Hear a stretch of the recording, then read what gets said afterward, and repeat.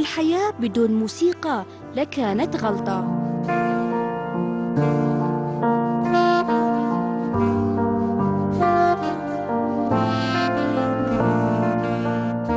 انتشرت موسيقى الجاز وبالتحديد آلة الساسكفون كالنار في الهشيم بجميع أنحاء الولايات المتحدة الأمريكية.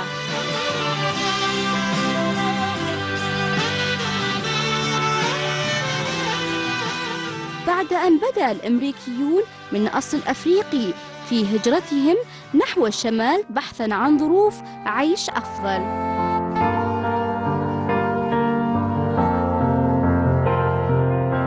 وتم اختيار تاريخ 6 نوفمبر للاحتفال بآلة الساسكفون ومنها نعرض لكم بعض من عازفي آلات الساسكفون التي نالت على إعجابنا.